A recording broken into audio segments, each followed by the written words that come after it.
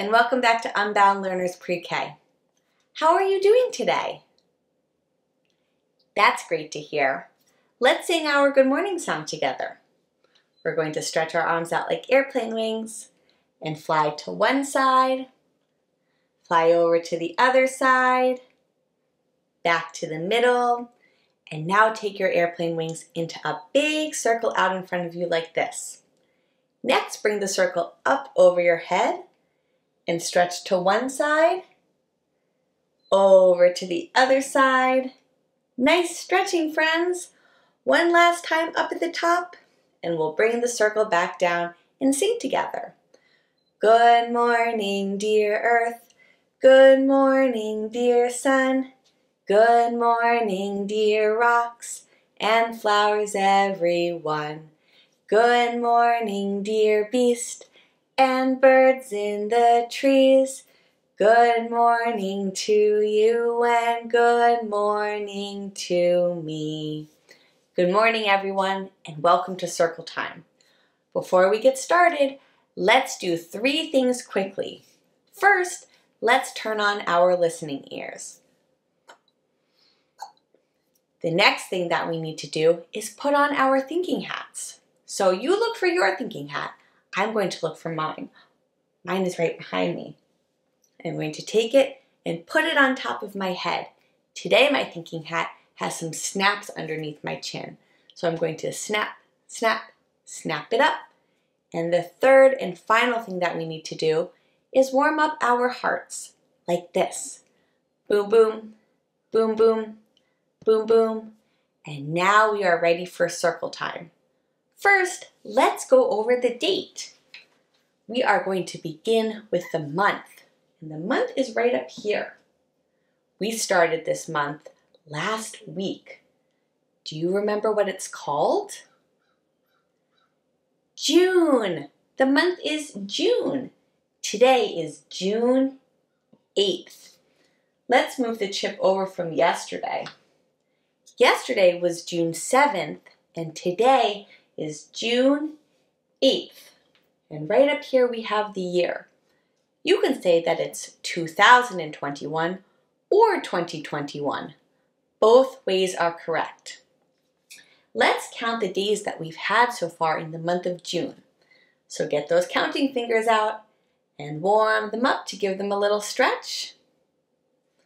We will start at the number one, two, three, four, five, six, seven, eight. We have had eight days so far in the month of June. If you put away one of your fingers, now you have seven fingers and we're ready to sing the Days of the Week song. Will you sing with me? There are seven days, there are seven days, there are seven days in a week.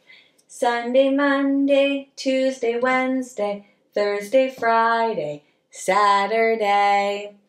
Let's go down to the bottom of the chart. This says that yesterday was Monday. That means that today is Tuesday. And tomorrow will be Wednesday. But let's sing Today is Tuesday together. It goes like this. Today is Tuesday, today is Tuesday, today is Tuesday, all day long. Today is Tuesday, today is Tuesday, today is Tuesday, all day long. Now let's go back up to the top of the chart where we have the season. Do you know what the season is? Spring! It's springtime where I live but not for much longer. In just a few weeks, we will say goodbye to the springtime and we will say hello to the summertime. But for now, it is still springtime where I live. Now let's sing the weather song together, and then we can share what the weather is like. What's the weather? What's the weather? Can you tell? Can you tell? Is the sun shining? Is the rain falling? Can you tell? Can you tell? So my picture on my weather chart is the same picture as it was yesterday. It's a picture of a cloud and the sun because when I look outside of my window, it's still mostly sunny, but there are a few clouds in the sky. My temperature chart is on orange. Today is going to be a very warm day. We are even supposed to get some thunderstorms later today. What do you see when you look outside of your window, friends? Thanks for sharing the weather with me. Now let's go over the letter, the number, and the sign of the week. So yesterday, we talked about this uppercase or capital letter. Do you remember the sound that this letter makes? That's right, friends. And what is this letter called? C. This is an uppercase or capital C. C says K, K. I wonder what we will find inside of the letter box today. It's something that starts with the letter C. I'm going to give you some clues, and if you think you know what it is, you can take a guess. Here's your first clue. This is something that you light. Hmm. It has a wick on the top of it, and you can put this on a birthday cake. You can also light this if it's dark outside and you need some light to see. Hmm. Any ideas? Let's take a peek. A candle. So right here I have a blue birthday candle. Candle starts with the letter K, C. So this blue part right here is made from wax. And at the top, this is called the wick. This is the part that you light. Candle starts with the letter K, C. This is how you write an uppercase or capital K, C. One more time.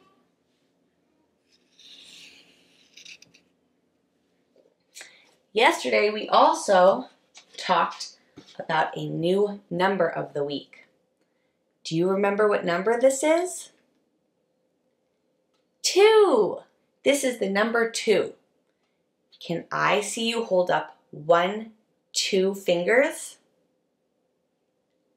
That's right, friends. And now let's count to two using the large bead frame. This week, we are going to count to the number two using the large bead frame. So we are going to count two of the green beads up here because these are units. So let's count to two. One, two, two units. Let's take a peek inside of the box and see what else we have to count today. I have two flowers. One, two. So these are wild daisies. These are beautiful flowers that grow in my yard at the end of springtime and into the summer.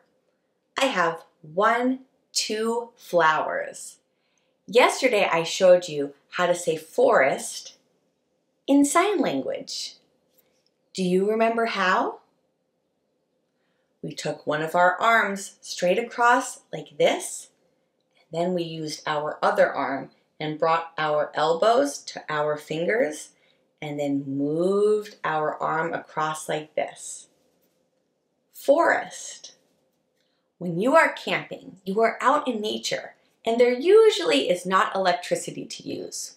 So that means that you can't turn on a light when it gets dark out. But what can you do instead? Can you think of anything? You can use a flashlight or you can light a fire.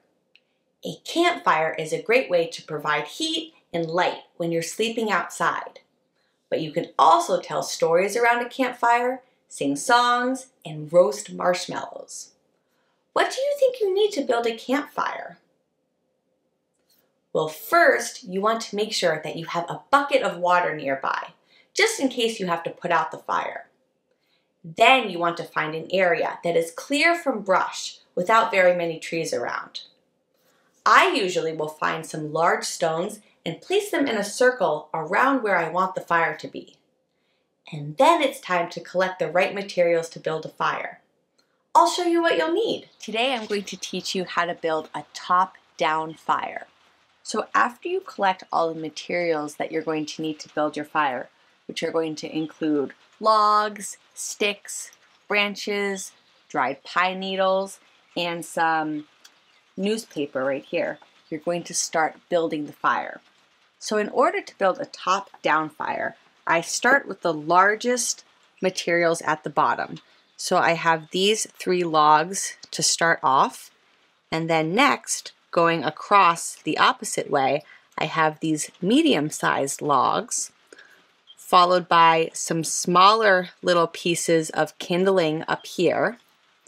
And then up at the top, I have little twigs and some newspaper. This is called the tinder. That's going to be the fire starter. Now, the most important thing to remember when you're building a fire is to only use dry material because wet material will not catch. But remember, today we are only going to build a fire. Let's get back to circle time.